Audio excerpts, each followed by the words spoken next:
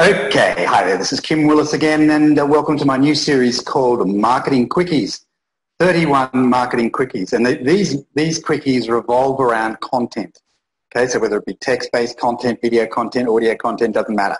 And each quickie will last about one minute. So the quickie that I have for you today is about your avatar. You've got to know it.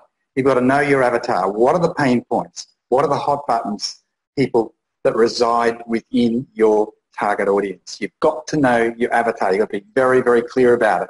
Because once you're clear about it, then you can fashion or create messages that hit the spot for the reader every single time. So whether we're talking about sales letters, emails, blogs, websites, social media content, it has to hit the spot every time.